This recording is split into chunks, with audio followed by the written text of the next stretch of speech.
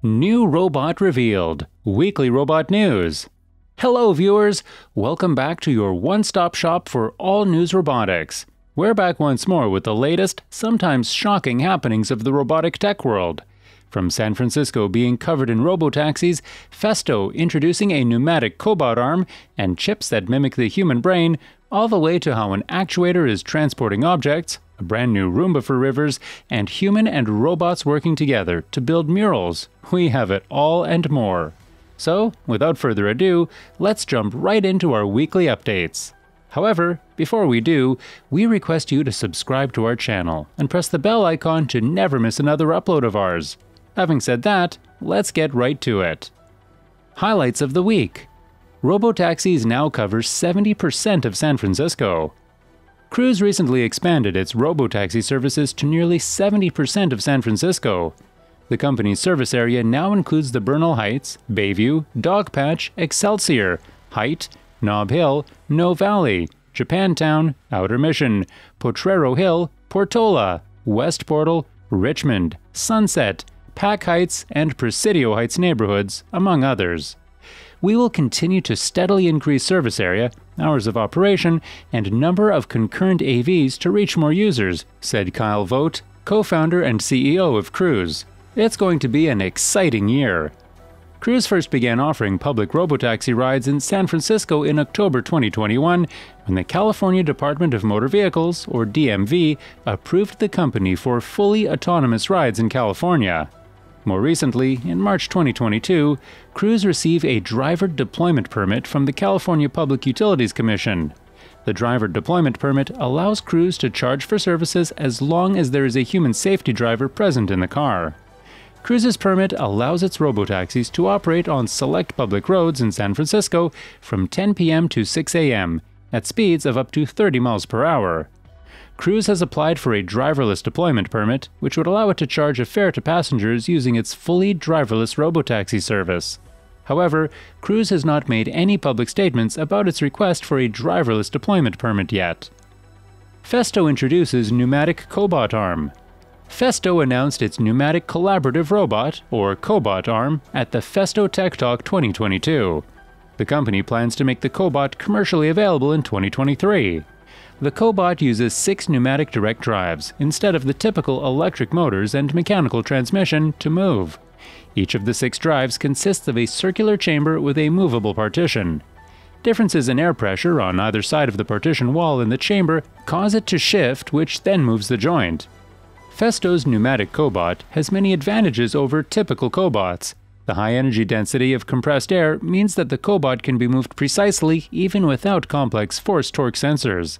The arm is equipped with precise pressure regulators in the joints, meaning the robot knows when it's touched by a human and can respond accordingly, according to Festo's head of robotics, Christian Tarragona. The cobot has a 670mm reach and a 3 kg payload. Its weight is around 17 kilograms due to its use of die cast aluminum. Because all of its relevant systems are integrated into the foot section of the robot, it doesn't require an additional control cabinet. Festo's cobot can be programmed similarly to many other cobots on the market. The company's Robotic Suite software offers the option of programming the arm with an operating device and predefined skills. The robot can also be programmed with hand guiding. Getting the cobot ready for pick and place tasks can take less than an hour, according to the company. Optoelectronic chips mimic the human brain. The human brain, which is made up of some 86 billion neurons connected in a neural network, can perform remarkable feats of computing. Yet, it consumes just a dozen or so watts. How does it do it? Jeffrey Shainline, a physicist at National Institute of Standards and Technology in Boulder, Colorado, and his work may shine some light on this question. Shainline is pursuing an approach to computing that can power advanced forms of artificial intelligence, so called spiking neural networks, which more closely mimic the way the brain works compared with the kind of artificial neural networks that are widely deployed now. Today, the dominant paradigm uses software running on digital computers to create artificial neural networks that have multiple layers of neurons. These deep artificial neural networks have proved immensely successful, but they require enormous computing resources and energy to run, and those energy requirements are growing quickly. In particular, the calculations involved in training deep neural networks are becoming unsustainable.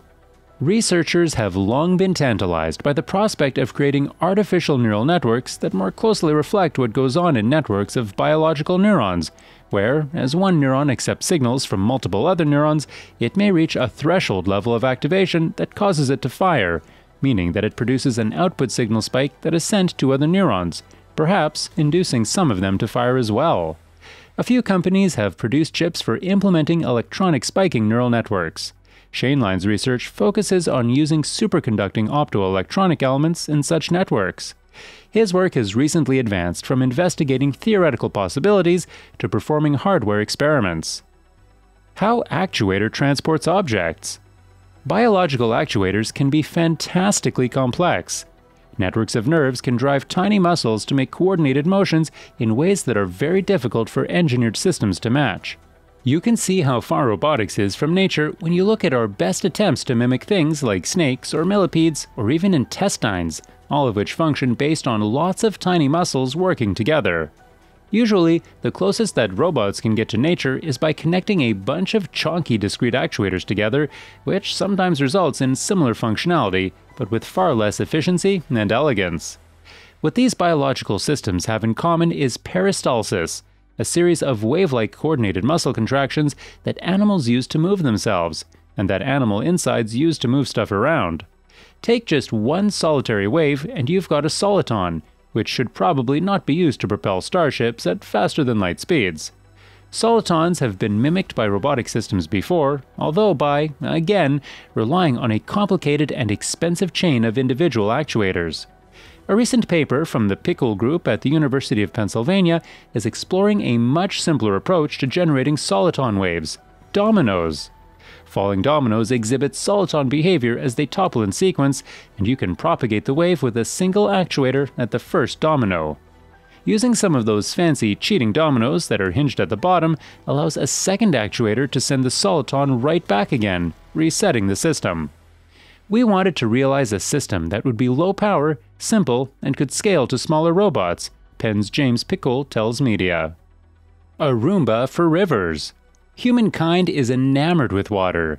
The beauty and utility of the Earth's oceans, rivers, lakes, and streams explains why 40% of us live within 100 kilometers of the planet's coastlines. But we don't always respect and properly care for the things we love. As with many of our habitats, the world's waterways have become dumping grounds for our trash. Picking up the litter that fouls these otherwise picturesque areas is a full time job. But few localities have the resources or political will to pay for cleanup costs.